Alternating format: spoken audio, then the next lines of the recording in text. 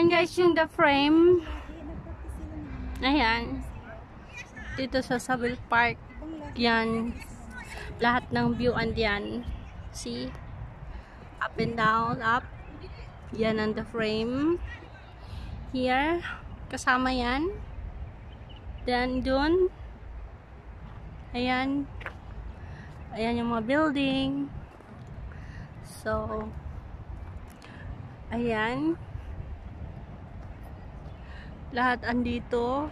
Pag Friday dito guys, ang daming tao. So, here. Makikita natin. Ayan.